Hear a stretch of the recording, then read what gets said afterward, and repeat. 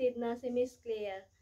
Hi guys! Ayan, so today is the first day of uh, Ramadan in Dubai, United Arab Emirates. Sa lahat po ng Middle East guys. So, ito yung uh, unang araw po ng Ramadan nila guys. So, ano yung masasabi mo about sa Ramadan ngayon, uh, Miss Claire? So, anyway, uh, binabati ko muna yung uh, aking mga kapatid, brother and sister. Happy Ramadan Karim to all my uh, Muslim friends, brothers and sisters. So, anyway, Miss Claire, anong experience mo about sa Ramadan pag uh, ganitong ano? So, first of all po, ah, binabati ko muna ng Ramadan Karim yung mama ko ah, because she's a Muslim. And, ayun. So, experience ko, Ano yung experience Ah. mo pag Ramadan? sa totoo lang, number one talaga, Pagod, puyat? pagod tsaka puyat. Ayun. Yan. Kasi, Oo. um, karamihan kasi sa Ramadan is baliktad yung nagiging oras nila. Ibig sabihin, tulog sila sa umaga and gising sila sa gabi.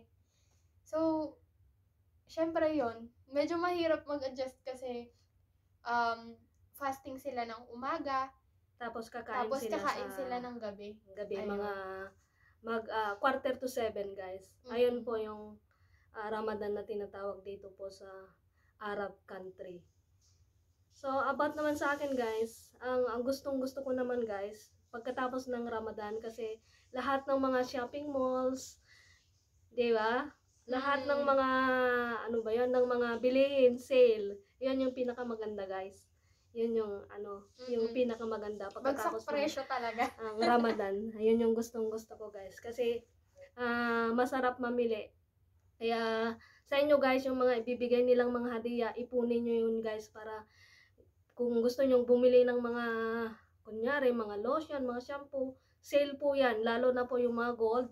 Mura po ang gold pag ganito Mm. mga ano guys. Pagkatapos ng Ramadan. Ayan po yung gustong gusto ko guys. So pag Ramadan guys, bawal talagang kumain sa labas guys. Pero pag gutom na gutom kayo guys, pwede naman kayong magtago sa loob ng CR.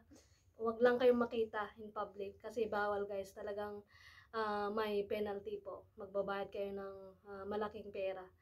So, ganun guys.